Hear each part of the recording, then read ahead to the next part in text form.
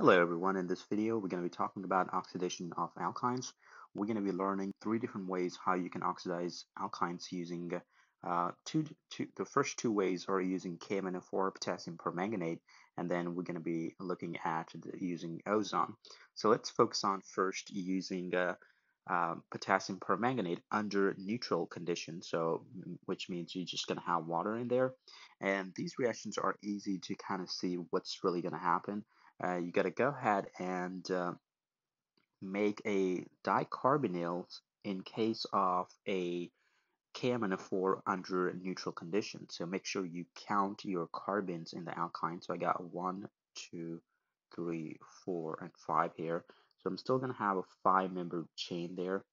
And then um, you're going to have two carbonyl groups basically on the second and the third carbon. So wherever your triple bond was those two carbons going to be making the, their carbonyls. And uh, obviously this is being done under gentle conditions. Um, if you do the same but now under basic conditions or alkaline conditions then the products are going to be slightly different where you actually go ahead and break this triple bond and then now going to have two molecules and I can go ahead and draw those two molecules. So one of them is going to be what you have on the left side. So on that left side, you're going to have two carbons, and those two carbons going to be making a carboxylate ion there.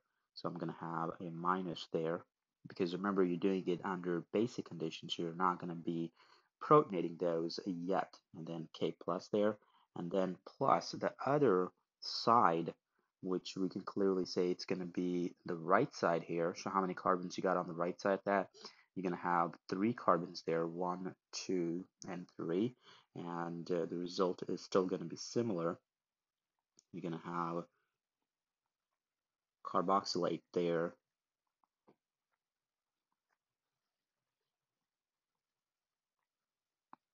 And the K plus there. And obviously, if I want to go ahead and protonate both of these guys, uh, and if you if you protonate those, I would use an acid. So let's say I use H3O plus just to protonate those. The results are going to be similar now, except you're not going to have the carboxylate, but you're going to have the H plus. You're going to have the carboxylic acids made now. So I'm just going to take this out here and we're gonna have the hydrogens here. So I can do this reaction in two steps. The first step is obviously going to be the KMnO4 under alkaline conditions and making these carboxylate ions. But then eventually you can protonate, you can work up the work up with acidic conditions and make the carboxylic acids. Or you may see this reaction just being written something like this. So I have, you could go ahead and write in the first step, I got uh, KMnO4 under basic conditions. And then in the second step, you're going to be working it up with the acid there. So that's how it's going to look like. If you have both of those steps, one and two, then this is going to be your end result. But if you're just doing the KMnO4 uh, with the base, then you're going to be stopping at your um, carboxylate unless you are also doing the second step, which is the protonation. Then when we look at this uh, ozonolysis, uh, it's going to be very similar to that uh, hot KMNF, uh, to that basic KMnO4. So what I'm really going to be doing, I'm just going to be breaking that away and uh, it's going to have very similar results. You're not going to have to worry about uh, making alkaline, uh, making carboxylate, however. So it's just going to be making an acid here and then that's your obviously the left side and then you're going to be making the acid from the right sides. So sometimes you have the same number of carbons on the left and on the right, so you may see only one product being written, but if you have a different number of carbons, then you got to write both of those in there. This ozonolysis is going to be different than what you do in case of alkenes. In case of alkenes, you make aldehydes and ketones, but here it kind of goes all the way down to the carboxylic acids.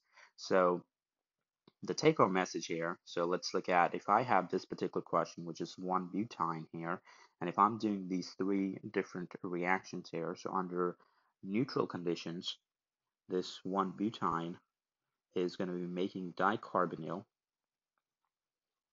So in one case you have a ketone and you're to have you have an aldehyde here. So you can have these dicarbonyls being both of those either ketones or they could have one ketone, one aldehyde, or you may very well can have also both of those to be aldehydes.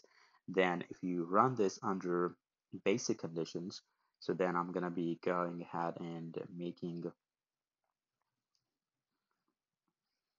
these carboxylates here.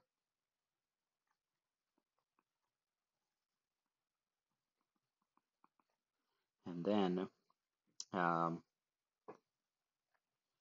K plus, and then there's only one carbon that's going to be on this right side here. Um, so that one is just going to be gone away as CO2. You're not really going to making a formic acid there. It just goes away as in a CO2 in that particular case. And if I just protonate that, uh, once you protonate it, this final product is going to be, just to write that, squeeze that in there. So it's just going to have an H there now. So then if I do with uh, O3 and water, your products are going to be very similar. So you're going to be making uh, this guy right there. That's your one of the products. And your second product is obviously going to be the CO2 there. And um, if that happens, the CO2 is made anytime you have only one carbon on one of the sides. Like in this case, uh, um, this carbon kind of stays by itself. So one, there's just going to be one carbon. So this one carbon is not really going to be uh, making the formic acid, but instead it's just going to be gone away as carbon dioxide. So you may not see that in some of those reactions because it will just escape the solution, but that's how you're going to be making those. So think about this. This is one of the ways you can actually lose a carbon in the chain. So alkynes are used to make a carbon-carbon bond using SN2 reactions because so you can deprotonate that terminal alkyne and use that as an nucleophile. But now you learn now you can also get rid of one of those carbons from the chain by running this type of reaction there. So it's extremely important to know those things. All right, so this is uh, going to be the oxidation of alkynes. If you have any questions, feel free to leave any comments in the section below.